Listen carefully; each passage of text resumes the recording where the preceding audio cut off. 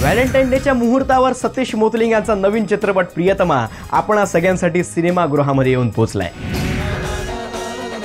नेहमीच विनोदी भूमिकांमध्ये झळकणारा आपल्या विनोदी शैलीनं रसिकांना पोट धरून हसायला लावणारा सिद्धार्थ जाधव आणि अभिनेत्री गिरिजा जोशी यांच्या अभिनयानं हा चित्रपट खुलून आलाय बरं का?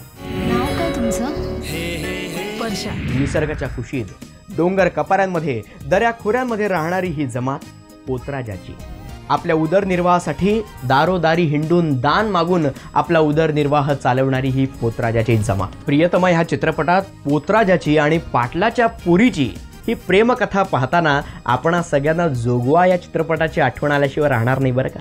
तुझ्या माझ्या संसाराला आणि काय हवं? या चित्रपटात सगळ्यात पहिल्यांदा दिग्दर्शक म्हणून रसिकांपर्यंत पोहोचलेले सतीश मोतलिंग.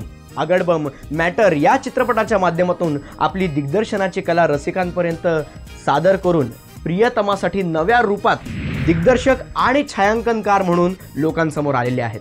अप्रतिम छायांकन केलेले बरं का सतीश मोतलिंग यांनी. त्याचसोबत मराठी सिनेमासृष्टीतले नामांकित कलाकार गंमत जम्मतच्या अश्विनी येनामध्ये नाचलेली चारुशीला वाच्छानी सिद्धार्थ जाधवच्या आईच्या रूपात आपणा सगळ्यांना पाहायला मिळते. त्याचसोबत संजय खापरे यानं आपणा सगळ्यांना राग येईल इतका छान अभिनय केलाय हो. जंगलामध्ये जाऊन पाटलाच्या पोरीबरोबर झंझट करायला तुला शरम नाही वाट निसर्गाच्या कुशीत रंगलेलं हे प्रेम. प्रेमाचे अनेक रंग उधळलेत या दोघांनी. निसर्गाच्या सानिध्यात प्रेमाची गोडी चाखत असणारे हे दोघ जण परशा आणि गौरी यांना अवश्य पहा एकदा तरी या सिनेमात. मराठी रसिकांनी हा मराठी नवा चित्रपट नवी प्रेम कहाणी सत्य घटनेवर आधारित असणारी किमान एकदा का होईना सिनेमागृहात जाऊन पाहायला काहीच हरकत नाही.